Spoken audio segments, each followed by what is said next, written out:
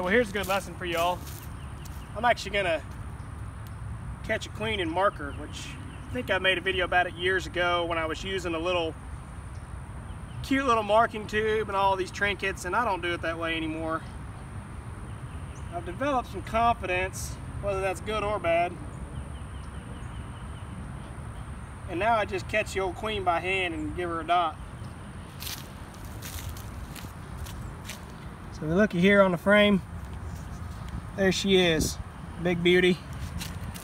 So I just catch her, I pin her down, get her by the thorax there.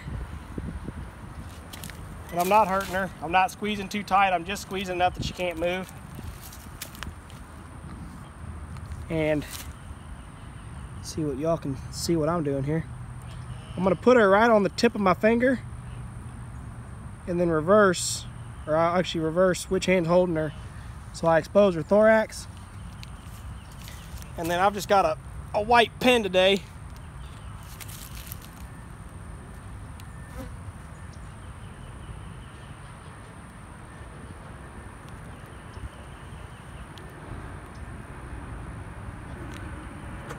Which white is not actually the appropriate color for this year, I don't believe, but it's what I got in my truck.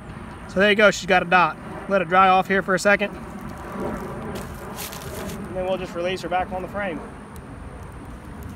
Some people, I've had this happen, they, um, they'll say, you know, you shouldn't, uh, I'll actually talk to you guys.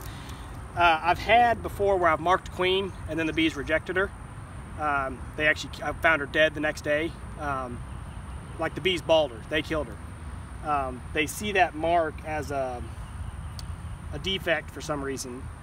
Um, I've also had the bees try to scrub that mark off the queen because again they see it as a defect so they'll groom her and they'll try to get that paint off. Um, if you don't let it dry fast enough you just release her with it wet. So honestly I, I don't make it a point to mark my queens. I really don't. Um, there's obviously the reasons to do it as far as you know proper record keeping and everything else but I I should but I don't. Um, uh, you know, from a from a beginner standpoint, I'd say, or from a hobbyist standpoint, you know, mark the queen just so she's easier to see. But I've gotten to the level that I don't always I don't always look for the queen. I check a hive, I see brood, I see food, I'm good, I'm happy, um, and run on to the next one. So to me, the dot doesn't matter to help find her, and I'm not doing the record keeping at this point. I don't have a breeding program or anything like that. You know, I just I make splits off the colonies that are gentle and that are productive but I'm not tracking who's who. You know, yeah, this box is numbered, number 33, but I don't have an active, I, have got a note somewhere. Actually, my kids probably destroyed the book, but at one point I had a record somewhere that said hive number 33, I did this on this day. Don't have that anymore. So that's kind of my two cents on marking queens. That's how I mark the queens.